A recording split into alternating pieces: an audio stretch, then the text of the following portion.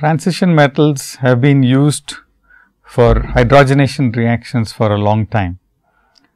After the renaissance of organometallic chemistry in the 1950s, it became obvious that a single site catalyst or a well characterized organometallic catalyst for hydrogenation could be discovered and used and this became a reality quite soon after the renaissance due to the discovery of ferrocene. So, today in this lecture we will discuss the catalytic hydrogenation reaction and a closely related reaction which we might call as catalytic isomerization of alkenes. Now, why do we really need a catalyst for hydrogenation?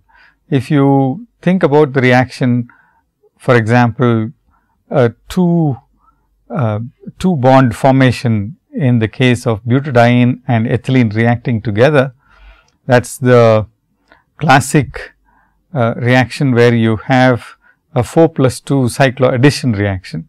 You do not seem to be requiring this catalyst and in fact, there are several reactions which do not require a catalyst and would produce and would proceed under fairly normal conditions. But hydrogenation is one reaction where the reaction will not proceed unless we have a catalyst and usually this is a transition metal catalyst. Now, if you look at the molecular orbitals of hydrogen and ethylene, this becomes familiar. This becomes easy to understand. And uh, here I have shown for you the highest occupied molecular orbital of hydrogen and the highest occupied molecular orbital of ethylene. And you can see that these two can be overlapped rather easily, so that you can have a non-zero overlap interaction. And in this case, both are filled orbitals. This both orbitals are filled and as a result the overlap of these orbitals would actually lead to a repulsive situation. What you need is to have an overlap between the filled orbitals of one reactant with the unfilled or empty orbitals of the second reactant and vice versa. And this is in fact not possible, because if you look at these two orbitals that is the LUMO of ethylene and the HOMO of hydrogen, you can see that there will be 0 overlap. And the same thing holds good for the filled orbital of ethylene and the empty orbital of hydrogen. So, you can see that this reaction cannot proceed in a simple fashion by a cycloaddition type reaction, unless you have a catalyst. And so, what does a catalyst do? Dihydrogen has to be activated and that is what we have shown just now. And the catalyst basically has filled orbitals which have pi symmetry. They have electron density in d orbitals which are capable of pumping in electron density into the sigma star orbitals of hydrogen. So, the sigma star orbitals are the empty orbitals of hydrogen and they are populated and that in turn leads to weakening of the hydrogen hydrogen bond and the metal hydrogen bond is formed leading to activation of hydrogen. There are very few catalysts which are non transition metal which are capable of activating hydrogen. Or for that matter even dioxygen is more readily activated by a transition metal than by a simple organic compound. That I should say is till date and this can obviously change if one discovers a more suitable catalyst which is completely organic. Let us uh, back up a little bit and talk about the ways to activate hydrogen. There are three ways in which we can activate hydrogen using a transition metal complex. The first one of course, is the oxidative addition of hydrogen to give a dihydride. In this case, the metal which is in the 0 or in the n oxidation state goes to a plus 2 oxidation state and then it has got two bonds to hydrogen. So, you just have to uh, change the oxidation state of the metal to plus by plus 2 and make it a dihydride.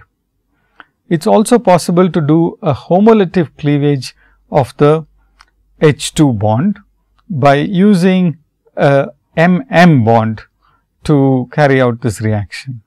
Here the MM bond is a weak bond and the HH bond is a strong bond, but because the MH bonds will compensate for the formation of the for for this reaction for the loss in the bond strength between the two hydrogens it's possible to push this reaction from the right left to the right and it is possible to take compounds which are metal metal bonded and make them metal hydrogen bonded systems. And the third class of activation belongs to those where there is a heterolytic cleavage of the H H bond, the dihydrogen molecule. This is usually carried out by an electrophilic metal system, which reacts with H 2 and generates MH plus and the hydrogen is is the other hydrogen is then reacted with the base to produce BH plus.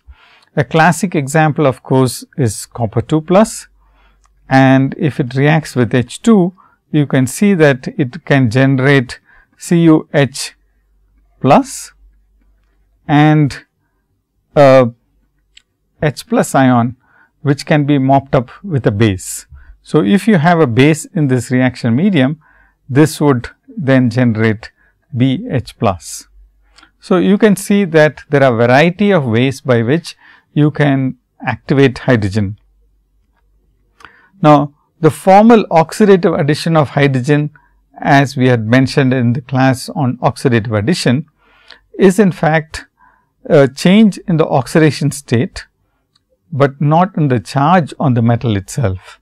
You should keep this in mind throughout this lecture also, because we will be frequently shifting the oxidation state of the metal, but that does not necessarily imply that the metal bears the increase in the charge on the that does not mean that the metal increases the charge that is present on the complex.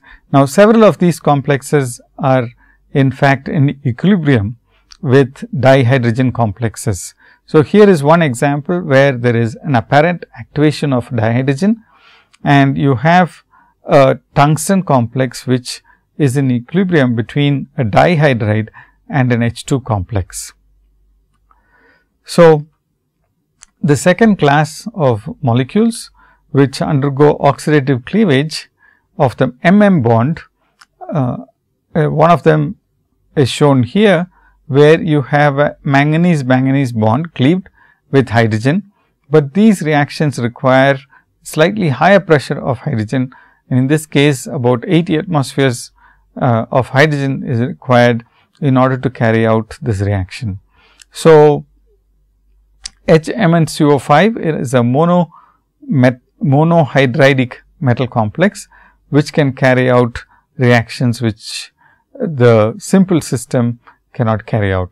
So, there is another molecule a rhodium rhodium bonded system the way it is written it does not appear that there is a rhodium rhodium bond, but it is the two rhodium atoms that are bonded together and this rhodium rhodium bond is cleaved and a rhodium hydrogen bond is formed.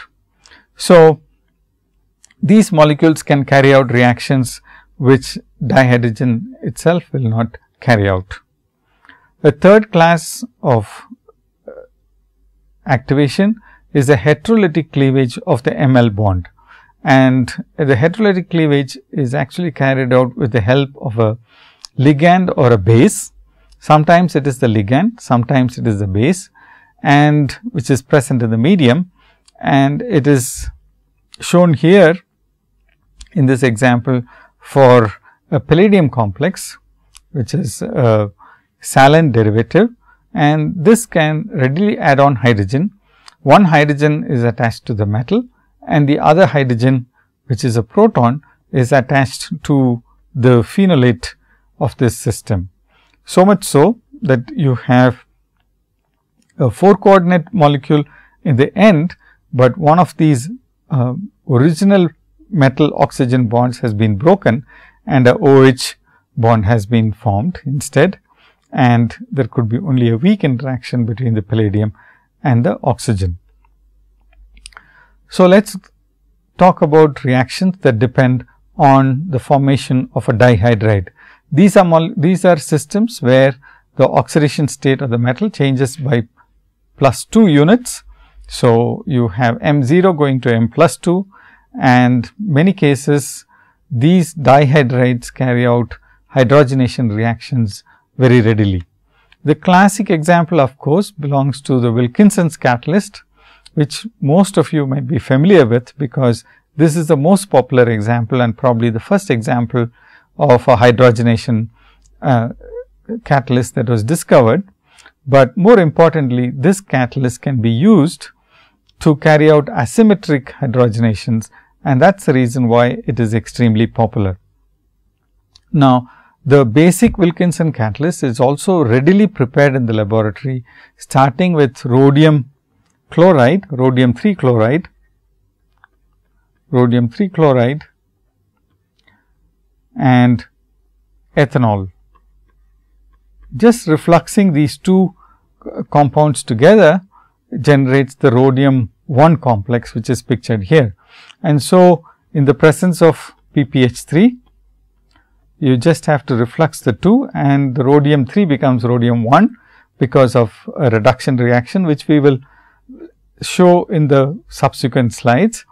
And the PPH 3 stabilizes the rhodium 1 species which is formed and you have this D 8 system stabilized in a square planar geometry. Now, this molecule readily adds on hydrogen so, even if you mix, if you take a solution of this Wilkinson's catalyst and expose it to dihydrogen at room temperature and atmospheric pressure, 1 atmosphere pressure of hydrogen, you end up with a color change in the solution and you have the formation of a dihydride.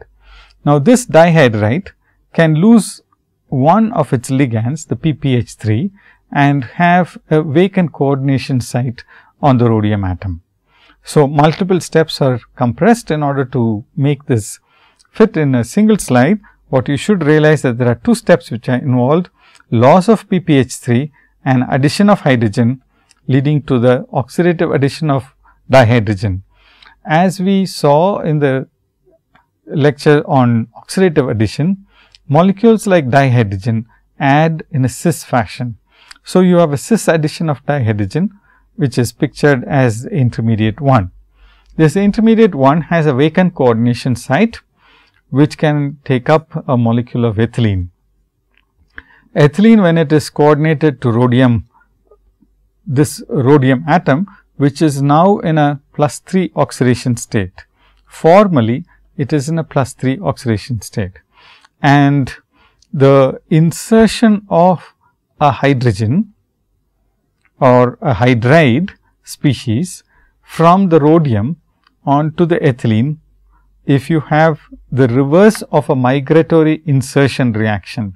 So, you remember what happens when you have a insertion reaction, you have the nucleophilic component going from the metal onto the organic component and a new metal carbon bond is formed.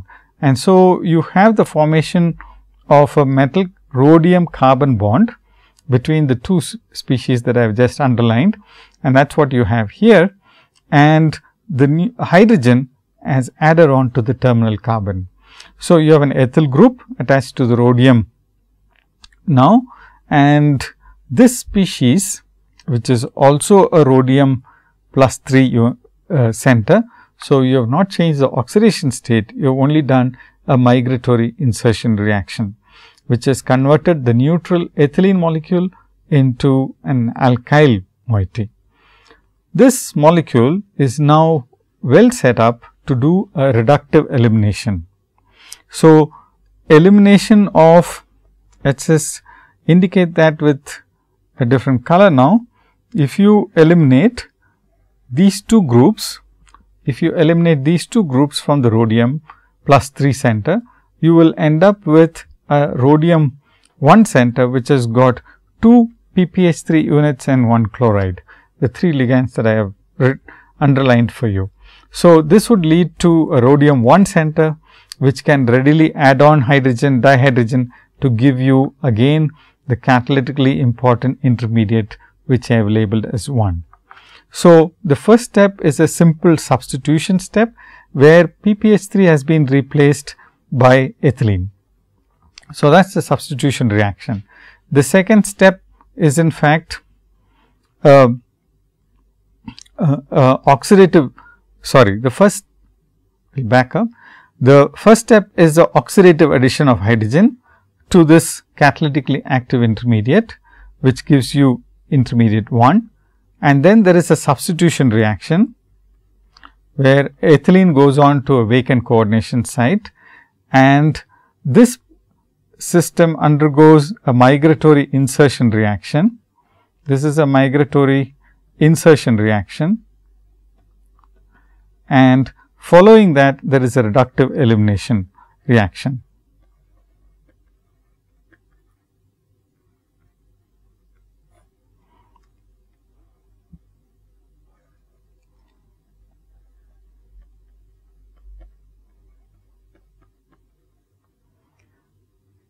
So, you do have an oxidative addition and a reductive elimination. Usually, the oxidative addition is the first step and the reductive elimination is the last step. In between, you would have a substitution and a migratory insertion or just a substitution and a subsequent reductive elimination. So, this is the general pathway for most catalytic reactions and we will see that in the subsequent slides also. However, the addition of the ethylene could be preceded could precede the addition of hydrogen. So, here is another catalytic system which is also based on the rhodium 1 catalyst, but in this particular instance the olefin coordinates to the metal first before the oxidative addition of hydrogen. This complex is formed as the one that is available in the laboratory or in, in chemical companies which you can purchase. And the advantage of this complex is that if you add hydrogen to it, it is capable of being hydro the ligand is being hydrogenated in the first step in order to generate a very active form of the catalyst. And so, SOL really refers to the solvent. So, this is your solvent here and the solvent is something which is easily substituted by the ethylene in order to give you the olefin complex in the first step. This olefin complex is then reacted with hydrogen and it is in the second step that the oxidative addition happens. In the Wilkinson's catalyst, the oxidative addition happened in the first step and in the subsequent step you had the substitution reaction. So, these two have been interchanged in the Schrock-Osborn hydrogenation ca catalysis.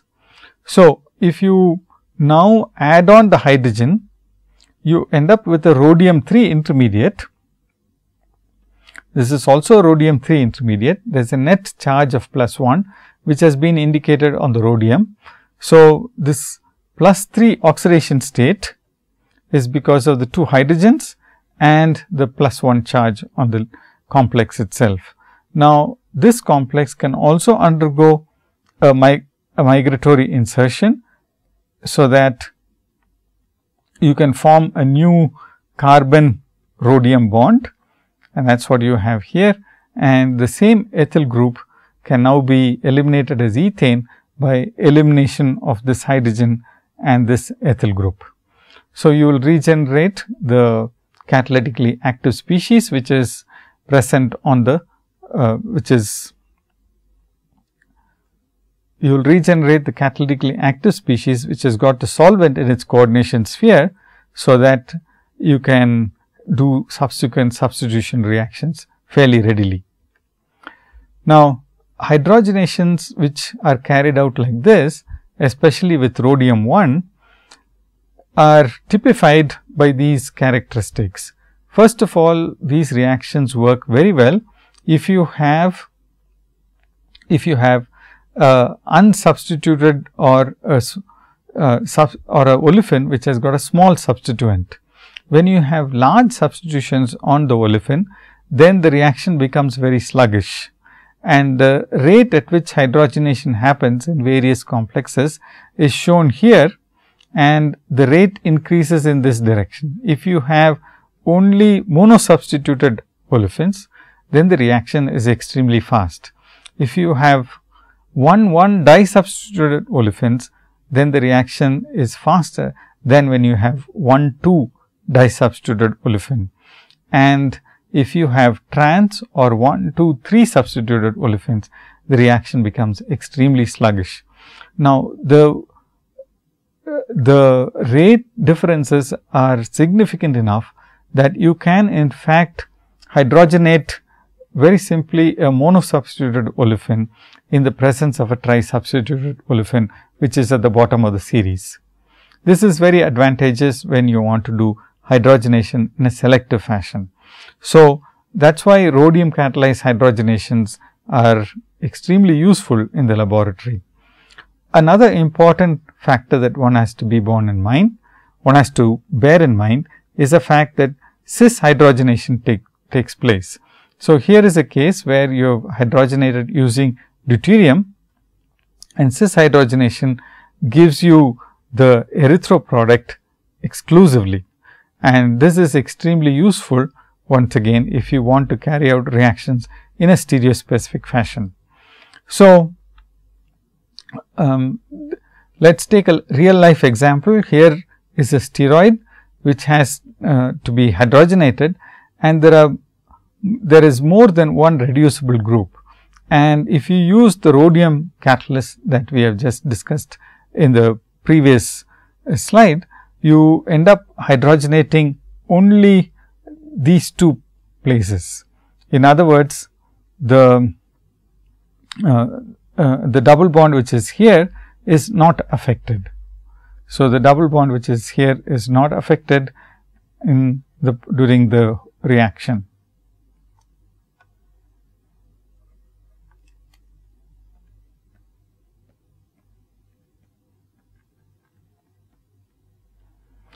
So, this is a very useful uh, uh, catalyst because of the selectivity and it can be used for carrying out uh, many complicated synthesis. Here is another example where you have a unhindered double bond and a tri-substituted double bond and the tri-substituted double bond is left unaffected during this whole reaction.